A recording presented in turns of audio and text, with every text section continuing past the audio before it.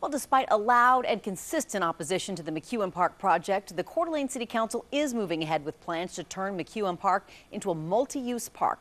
There have been several changes to the plan over the months, which includes removing Tubbs Hill from this project and putting it back with the Parks and Recreation Commission. They're also scaling back the Freedom Fountain and entertaining the idea of a Four Seasons piece instead. The boat launch is moving and there will be a dog park. And tonight, Tori Brunetti has the drama from last night's meeting. But first, the question is what comes next? The city mayor spoke with KXLY4's Anusha Roy about where the work begins. Mayor Sandi Bloem is pleased that the city council in a 5 to 1 vote approved a conceptual plan for McEuen Park.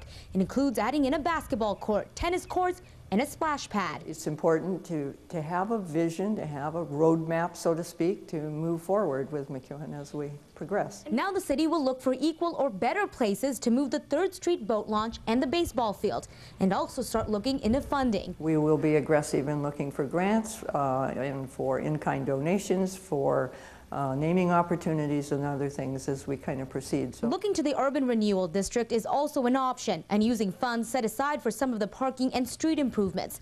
It's plans to change McEuen Park that some welcome with open arms. You know, everybody was kind of talking about how this will be for outsiders it's not going to be for outsiders. It's going to be a year-round park. We don't have that right now. The price tag ranges from 23 to 36 million dollars, but the city council passed a resolution to not support bonds, levies, or tax increases for the project. But there has been constant opposition to the plan. Some people saying it's too expensive and that it'll eat away at the small town feel here in Coeur d'Alene. Some opponents are against plans for underground parking under Front Street and more spots up by City Hall. One reason is they believe it'll bring in unnecessary costs. I think the McEuen Park project is more about a parking lot than a park. Now that a vision has been approved, the mayor hopes all sides can work together. In Coeur d'Alene, Anusha Roy, KXLY4 HD News.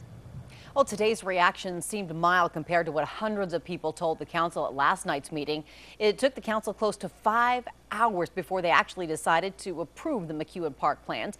Not because their decision-making process was slow, but because they had to get through a public comment period that lasted more than three hours. KXLY4's Tori Brunetti is live. And Tori, you were at last night's meeting and it was pretty rowdy. It definitely was. It wasn't your average city council meeting. About 400 people showed up. People that were against the proposed McEuen Park plans showed up wearing white and holding signs. Of course, we've all been to city council meetings before where there's been, you know, cheering, heckling, even some name calling. But at last night's meeting, there was a live musical performance.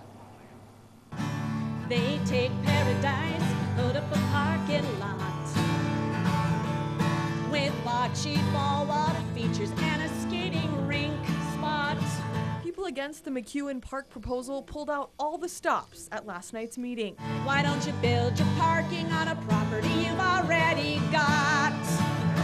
Singing was just one tactic used to get the council to vote their way. I'm tired of the attitude. I'm tired of the arrogance. You guys, you know, elitist, we're peons. Well, the peons can vote you out threats, name calling, and a little generation bashing. What happened to children's imagination? Even accusations of conflict of interest. Mayor Sandi Bloem owns a corner building on the proposed entrance to the new project, the new million dollar project. Councilman Mike Kennedy. Mike's long term employer owns a half block adjacent to the project. How is he going to vote? They are passionate about a park they say is part of Coeur d'Alene's history. They pleaded for the baseball fields and boat launch to be left alone.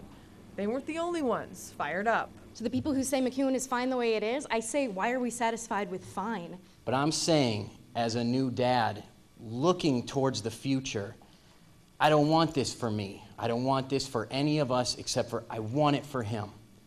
I want it for that guy so that I can take him somewhere in this town that I love and have a place that I can really be proud of. And what became a battle of old versus new, a war between preserving the past or building the future. The future won. Five hours wasted. And the money was also a big concern for the group of people who wanted to keep the park the same. They asked the council how they could consider spending millions of dollars on a park with so many people out of work and so many homes in foreclosure. On the Sky Deck, Tori Brunetti, KXLY4 HD News.